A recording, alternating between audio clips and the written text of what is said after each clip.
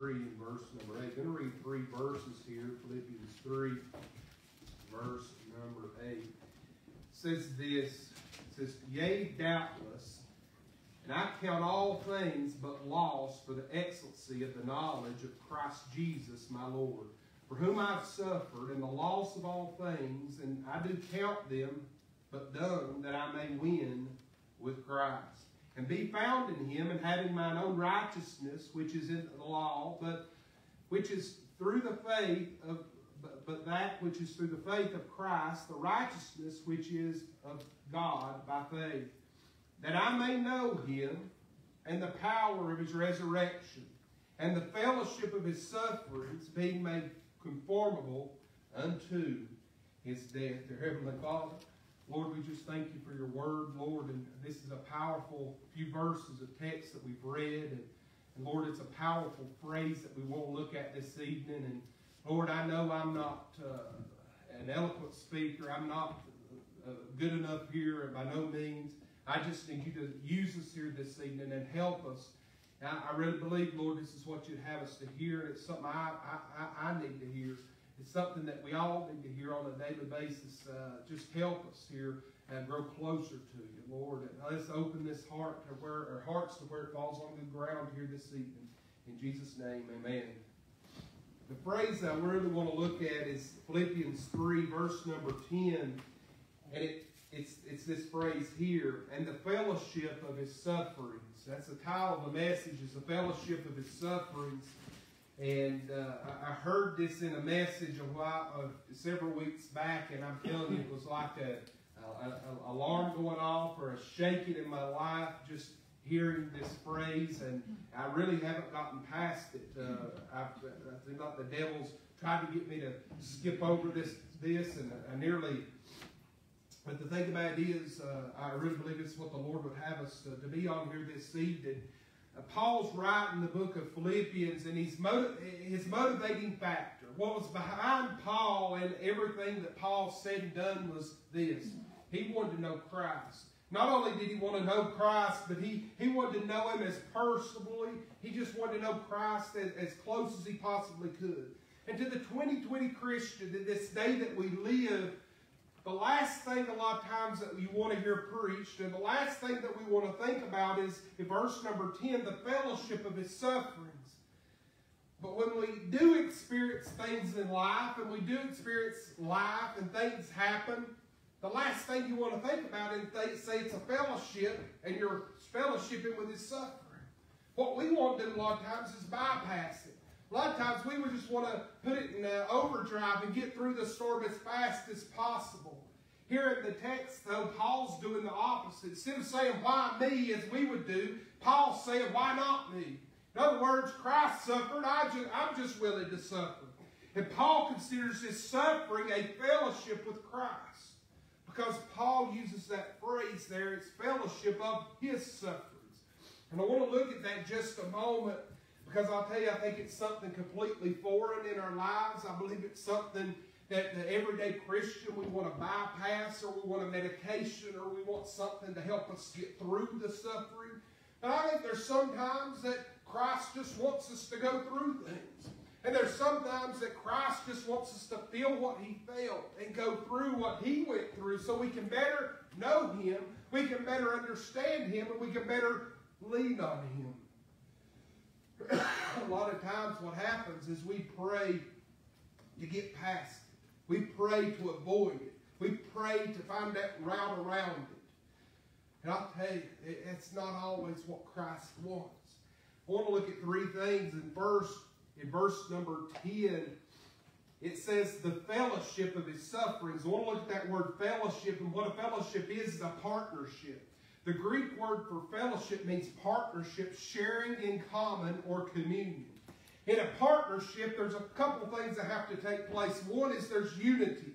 If you're going to partner with somebody, there's got to be unity, an agreement, a handshake. Uh, you've got to agree on things. And in that agreement, there's unity on their purpose, meaning their fellowship or their partnership, they've got the same purpose, uh, they're working for the same goal, and there's this uh, unity involved. But also know this with a partnership, there's like mindedness. It says the fellowship of his sufferings, meaning there's unity in that suffering, but there's also like mindedness. In order to have that fellowship and, and to have a partnership with somebody, you've got to think alike.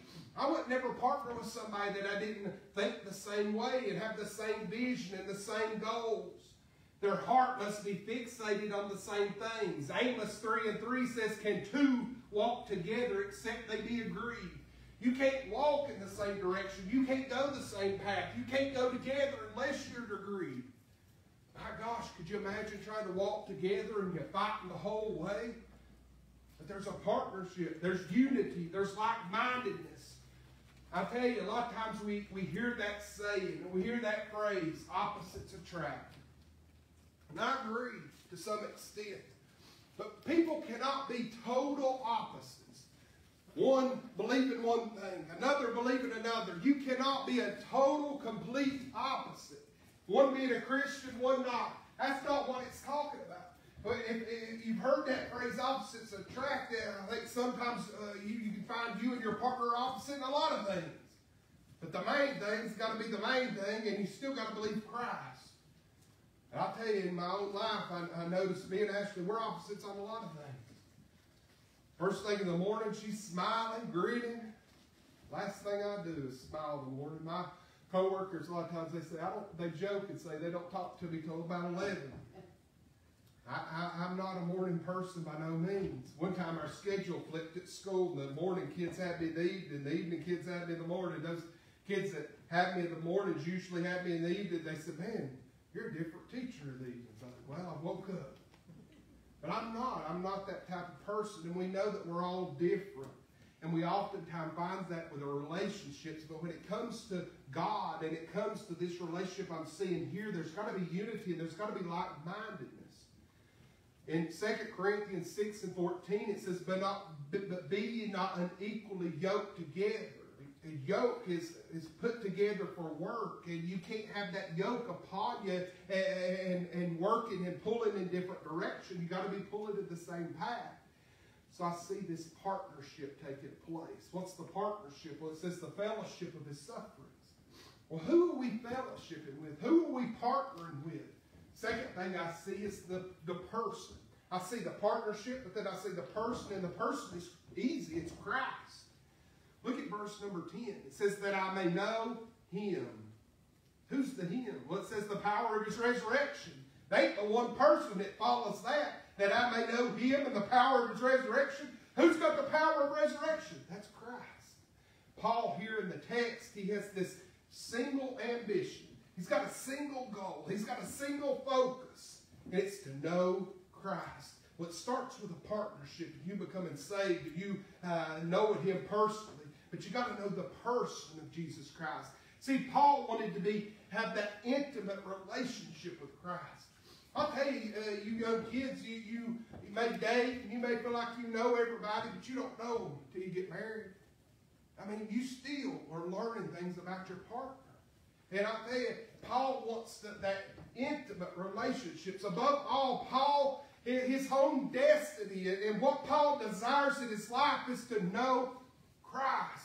Can you say right now that the one person that you would love to uh, know, the one person that you want to wrap your mind around is Christ?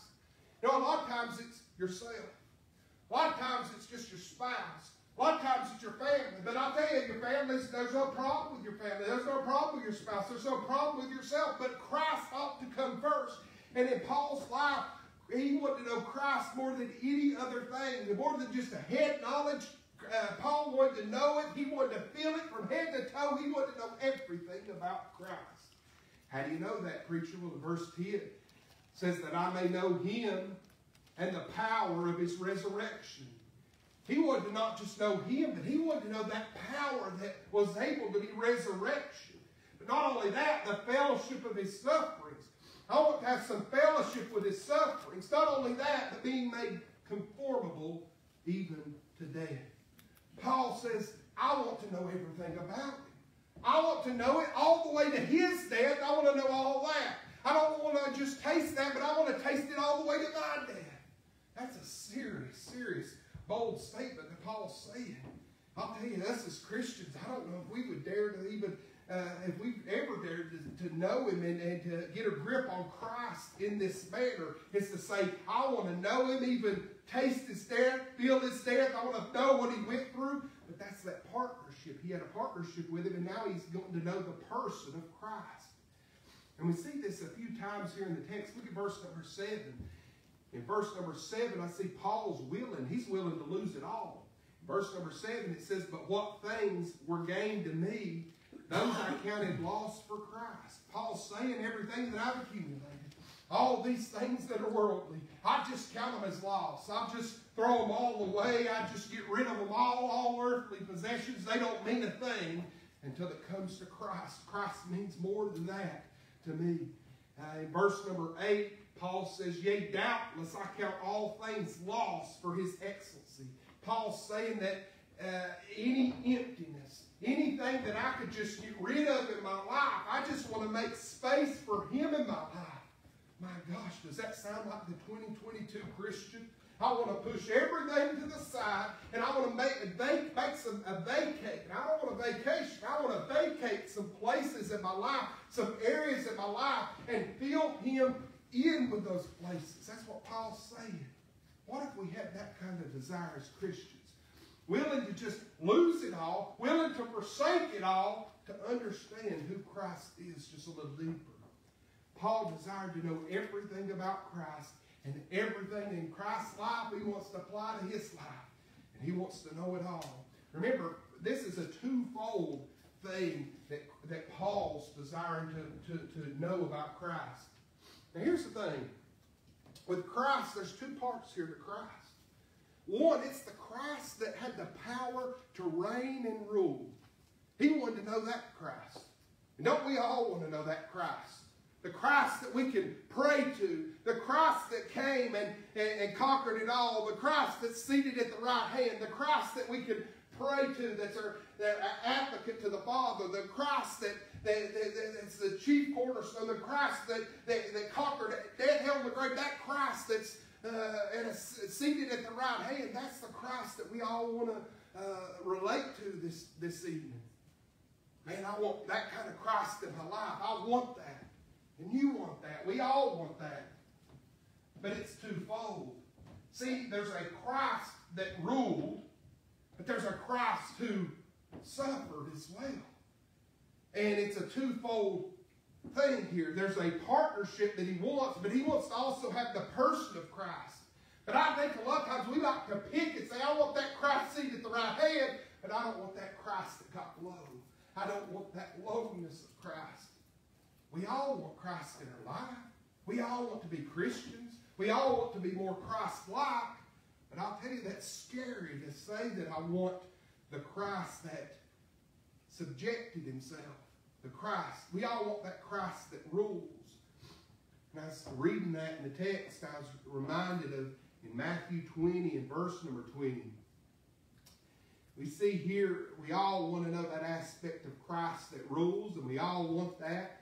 There's a, request here of James and John, his, his their mother. And in, in, in Matthew 20 and 20, it says, Then came to him the mother of Zebedee's children with her sons worshiping him and desiring a certain thing of him. And he said to her, What wilt thou? She said to him, Grant these my two sons, that they may sit, one on thy right hand and one on the left in thy kingdom. That's what we want. We want one of us on the right, we want one of us on the left, and we want that place of rulership. We want that place of, of power. We want to see God's power and God's movement, and God's authority and God's blessings, and we want all these things. And there's nothing wrong with it there's two sides to the coin. There's the rulership side, but there's the suffering side. And when that hits, we're like, oh gosh, I, I can't take it. And we ain't even felt a drop in the bucket to what he's felt. We got to realize that, that there is this person of Christ that ruled, but there's also that person of Christ that suffered. In that same text in Matthew 20 and 20, I read 20 and 21 right there, but in verse number 22 it says, But Jesus answered and said, You know not what you ask. Are you able to drink of the cup that I drink of and be baptized with the, baptized, the baptism that i baptize baptized with? They say unto him, We are able. And he said to him, Ye shall drink indeed of my cup and be baptized with the baptism that i baptize baptized with. But to sit on my right and on my left is not mine to give but it shall be given to them who are prepared of my Father. And in other words, what he's saying is, if you want a place of rulership, and we all just want the reward, we all want the goodies, we want the blessings, but he says, you want that, you want that place of power, you want to be at the left, or you want to be at the right. There's a, there's a stipulation to that. You've got to drink of my cup. What in the world's the cup he's talking about? It's not a drink, it's the cup of suffering. It's the cup of his wrath. It's him coming and, and, and lowering him himself, subjecting himself, him being beaten, him being bruised, him carrying his own carrying that cross, him hanging on that cross, him being ridiculed, him carrying upon the sins of the world, him, him dying. That is the, the Christ that we're speaking of. And he says, hey, if you want that cup, if you want to drink of that cup, there's a stipulation. You may ask for that. You may want at that place, but you don't realize what you're asking. I believe Paul in our text, he, he knew what he's asking. We want the Christ on the throne, not the Christ that suffered. But Paul says, I'll take it both. And I don't care what I have to go through, I'll go through it. And I'll tell you, me and you in our 2022 Christians, it's almost like this. If we paint a picture as we have to go through something or, and we're a Christian, we almost in the back of our mind say, who's going to want to go to church now? Who's going to want to be a Christian that's not what it's about. It's about going through it, but knowing He's there with us. Amen. It's about going through it, but knowing that we have the peace, the power, and, the, and His presence with us. Yes, there's the, the, the place of rulership, but there's also that person, that, that, that Christ that came to this earth and He suffered. Paul even wrote in Galatians 5.20, I'm crucified with Christ. The same way Christ was crucified, I'm crucified with him. Nevertheless, I live, yea, not I, but Christ that liveth in me. In other words, I, I've, died to myself. I, am crucified. But now that I'm dead, he's alive and he's living through me. And that's the person we're speaking of. Paul's desire here is to have a partnership, but he's also wanting to know the person of Christ. I want to know that person of Christ is what Paul's saying here in the text. I want to know that person. Well, it's not just the person that rules, it's the person that suffers. But guess what Paul says? I don't care. I just want to know him.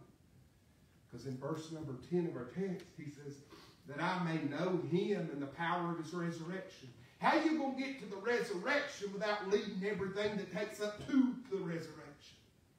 Then he says, in the fellowship of his sufferings, being made conformable unto his death.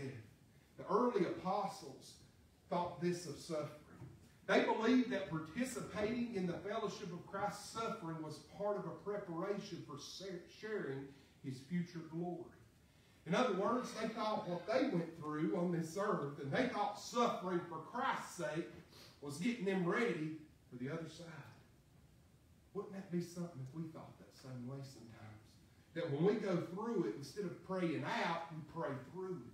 In other words, instead of uh, uh, wanting a lifeline or a medication to just get us out of it, we're just saying, hey, Lord, uh, let me be a blessing to somebody all the way through it. If this is a road that you want me to take and a path that you put me on, so be it, Lord. I'm just going to go through it because I want to suffer. I want the fellowship of your sufferings. And Paul believed that. He believed it so much that he even told Timothy in 2 Timothy 3.12, Yea, and all that will live godly in Christ Jesus shall suffer persecutions. Paul, I mean, that, that's hard to sugarcoat that. Everybody that is godly is going to have it bad. That's what he said. That's bad. That's hard. I don't, I, that's hard to hear. And I think Brother Marvin this morning hit the nail on the head. The lost don't feel what we feel. The lost don't go through what we go through sometimes. They're done lost. The devil's done God. But even Peter agreed. In 1 Peter 4 12, it says, Beloved, think it not strange concerning the fiery trial which is to try you, as though some strange thing happened to you. In other words, when you go through these trials, when you face the furnace, don't, don't think it's strange. Don't think it's, don't be alarmed. He says, but rejoice much you're partakers of Christ's suffering. In other words, rejoice in the suffering because you're going through what Christ went through that when the glory shall be revealed, you shall be glad and also exceeding joy. I'll tell you this, as we go through this walk of life and as we as we go through things, you might as well expect it. Expect trials. Yea, all that live godly in Christ Jesus shall suffer persecutions. You live godly, you'll suffer. Live godly, it ain't going to be easy. What's the alternative? Go to hell. I ain't going to do that. I'd rather suffer, suffer a few things, knowing on the other side is something better, wouldn't you? It's all right. I'd go through it for a season. I'd go through it. But the problem is, I don't even, we, neither one of us, ain't a soul in here that has to go through it alone anyway. You know, everywhere we go, Christ is going with us. And yes, we might go through it. Yes, we might suffer, but Christ will go with us. I think sometimes we think that we're uh, we're immune to this or we're too good for this or Christ saved us out of this. But we have to go through things. So much so that Christ said something even similar about being a Christian. He says, he said to his disciples in Matthew 16, 24, if any man will come after me, let him deny himself, take up his cross, and follow me. How, how comfortable is it carrying a cross? How comfortable is it to, to follow after him and walk in those same footsteps of denying himself as he did? That's not, a, not an easy place to be. But our job is just to take up that cross. Our job is to follow him, and that's not an easy thing to do. It's almost like saying, hey, if you want to follow me, it's going, it's going to be hard. It's not going to be easy. But I wouldn't trade it for anything under the sun. Because God's got it all under control. It means you and I ought to be willing to surrender all the way unto death. The same way Christ surrendered all the way to death, we ought to surrender all the way to death. Because in our text, he says this, and the fellowship of his sufferings being made conformable unto his death. How are you going to take up the cross? we're going to take it and die to ourselves. And we're going to taste the same death that he tasted. What kind of what kind of suffering is that? My gosh. I mean, are we ever going to suffer the same way Christ suffered? I don't know that we ever will. But I do know this, that on the cross, in Matthew 27, 46, Christ said this, My God, my God, why hast thou forsaken why did he say that? Because all the sins of mankind is converged upon he who knew, knew no sin. He didn't know no sin, and every sin converged on him at one time. The vilest of the vile to the smallest of the small. Everything converged on him, and here he is. Even his own father had forsaken him. You may say, well, what are you saying, preacher? How are we ever? How are we ever going to face that? Well, I find it interesting, and I didn't know it till the other day, but I find it interesting in Psalm 22, in verse number 1. David says the same words. The exact same phrase is mentioned in the book of Psalm, Psalm 22, 1. David, it says a psalm of David, My God, my God, why hast thou forsaken me? Why art thou so far from helping me and from the words of my roaring? Oh my God, I cry in the daytime, but thou hearest me not. And in the night season I'm not silent. But thou art holy, and thine inhabitants praise of Israel. What David's saying there, he's saying that I, I know I know you. Just if we're saying the 2022 Christian, he's saying, hey, I know this. I know I know you. I know you live in my heart. I know that I've been born again. But there's times that I cry out, and I don't think that you could hear i cry the today. I cry all night long, but I don't know. Uh, I, I, it feels like that you, you're nowhere to be found. But I'll say this, if Christ went through it, David went through it, who are you and I to feel like sometimes that the Father's not turned his back on us? We, we all are going to go through things sometimes. But I do know this, the Holy Spirit lives on the inside, and He's there to be our comforter. He's there to be our shield. He's there to help us. But you and I will suffer. That, but well, here's the thing about it. We have a partnership with Christ. And if we do partner, we do partner with him, we're going to feel everything that he felt. In other words, there's going to be times where I've got the peace, I've got the joy, I've got the comfort. It feels like you're walking on clouds. Sometimes that song comes on in the car and the tears well up in your eyes. It feels like the Spirit's just moving. Isn't, you, isn't that good when you feel that? That's God's presence and Him living and working in your life. But there's going to be times where God's going to pull back the reins a little bit. And you'll say, Where are you at, Go Where are you at? See, this is not heaven. This is not heaven on earth. This is not a place that it's all going to be perfect. But what he wants is he desires us to long for him. Even though we may suffer and even though we may go through things, it's amazing the way God's got it wired together. He gives us enough of him to want more, but he pulls himself away from us just enough to where we're still longing for him and still desiring him. Isn't that true? Isn't that what sin, though, does as well? And it's flesh. It separates us sometimes. But I'll tell you, once you get a dose of him, and once you, you, you, you get that, all it takes is just a little bit to come by again. And there he is again. There's going to be times where you feel like he does pull back a little. There's going to be times where it feels like you're just like David, crying out in the morning, crying out at night, and he's nowhere. But there's going to be these times where you don't know that you can make it another day. There's going to be times where you cry out the same thing, Where are you, Lord? Have you forsaken me? But then there's these times where he just passes by. He lines it all up, he helps us out, and you can only say it's him there's those times as well. In other words, he's the God that's seated at the right hand ruling, but he's also that God that he went through suffering. Here's the thing, we like to say we're Christians, but we like to say we're the Christian seated at the right hand.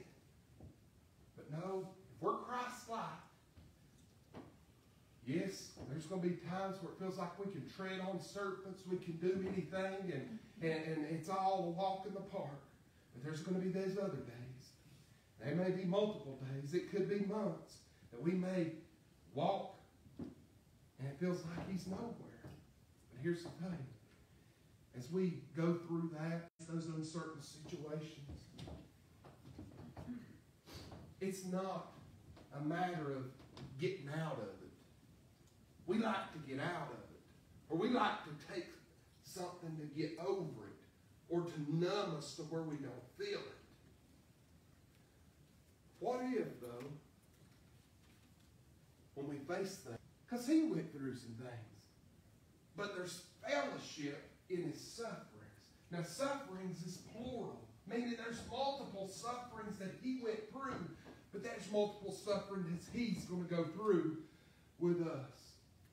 Just because we're living in this day that feels like everything ought to be. I mean, we're so blessed in the United States of America that we, we just feel like we shouldn't have to face nothing.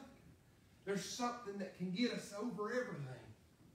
But I think sometimes God gets us to these places and makes us wants us to go through things because Philippians 3:10 that I may know him. I truly want to know him.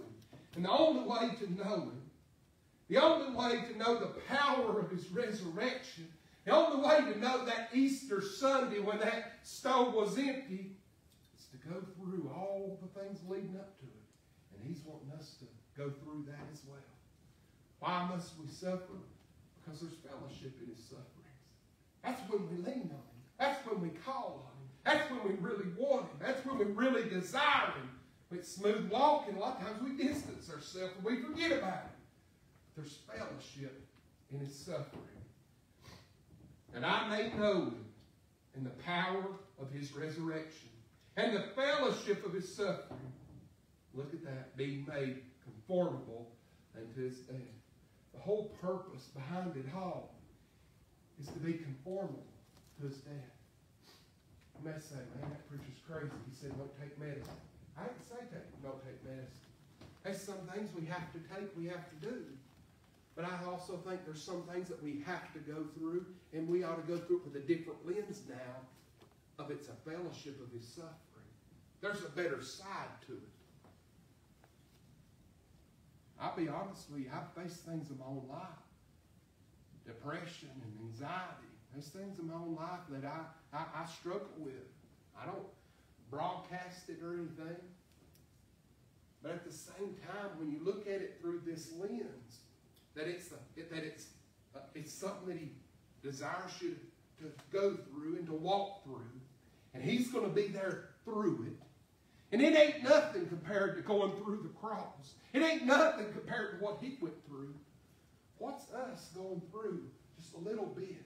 And when we face those things, and when we face uncertainty, and when it feels like you ain't going to make it, it's just a fellowship of his suffering. He's wanting us to go through it so we can feel what he felt. And yes, it might feel like he's, he's pulled his hand away from us, but before long, he's going to put his hand right back on us. We're going to feel it again.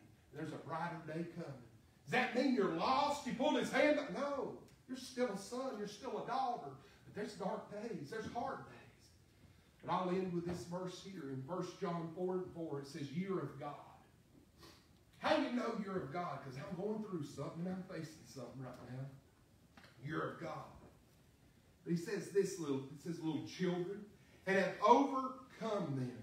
Because greater is he that is in you than he that is in the world. In other words, this world looks dark. This world looks dim. Don't feel like I could make it another day, but there's fellowship in the suffering. How do you know? because we're his little children. He's in us. And there's something greater in me than in this world. There's something greater in me than the darkness of this generation. There's something greater in me than the problem that I'm facing. And my, my, my.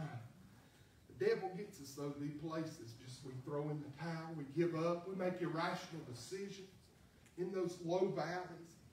That's not a place to make decisions. That's a place to just hold on for dear life and know that God's going to put his hand on you one more time and he'll help you again.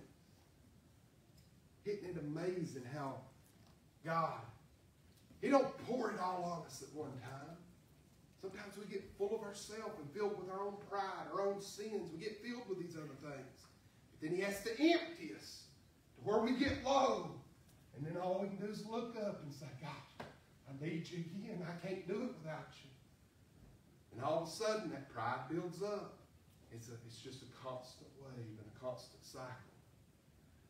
The thing about it is, as we leave here this evening, think about the fellowship of his suffering. Next time you go through something, next time we face something, just think, my gosh, there's fellowship here. It's me and Christ walking through this. It's me and Christ going through it. He brought me to it, and he's going to get me through it. There's fellowship in this suffering that I'm going through. Heads bowed and your eyes closed. I just wonder here this evening. I don't know anybody's heart. I don't know what you're going through. I do know this if you're not going through something now, you'll be going through something eventually. Because all the way up into death, there's cycles and times where we go through things. There's times and there's these seasons. And I wish it could always be just the, the perfect mix between spring and summer when it's all beautiful and warm, just warm, not hot, not death and dying, not cold. I wish it could always be that way, but there's seasons of our life. And I think what the Lord wants us to know is, hey, you fellowship with me with whatever you're going through. Don't be afraid. I'm with you. Don't try to get out of it, but go through it. And the whole time you're going through it, know that I'm helping you, but other people other people are wondering, are you just going to quit? Are you going to give up? Are they going to throw in the towel? Sadly enough, that's what a lot of people have done in this day that we live. There's fellowship in the suffering. We see the fellowship of his sufferings. Your Heavenly Father, Lord, I, I know this message and this word and this text was something that I've chewed on and it's helped me for a couple weeks now. And Lord, I don't know that I can expound on it what I could do, but I appreciate you helping me here this evening, Lord. And I don't know everybody's heart, and I don't know what everybody's going through, but I do know this that everybody's going to go through something, Lord. If they're right here going through something, Lord, I pray that you just help them. I pray that you give them that realization that it's a fellowship going on, and you're going to see them through it. There's fellowship in the suffering. And Lord, if they're getting ready to face something, maybe you're just preparing them for a storm getting ready to hit them let them know there's fellowship. We don't have to take the easy button. We don't have to just reroute it and try to get out of it. There's sometimes you put us through it so you can look bigger. You can magnify yourself and you can be exalted. You can be lifted up. Sometimes there'll be a weight higher than what we can uh, carry. There's a load bigger than we can carry. It's a, weight, a, a wall bigger than we can get around. But Lord, you can bring those walls down. You can help us. You can strengthen us. And Lord, we certainly need to let you be that strength. Not try to work it out our own way, not try to get out of it, but just have fellowship through the suffering. Lord, you just be with us and help us. Lord, I thank you for what you did, how you've helped our church. You just continue to help us. Thank you for the provisions you've made and how you helped us with our back to school uh, this morning. Thank you for Brother Hollifield and you help him in his ministry. But Lord, you just help us here as we think about these fellowship of sufferings. And you just help us in the coming days. Let this be something that we could chew on and, and help us uh, as we continue our, on this path uh, that you put us on. In Jesus' name, amen.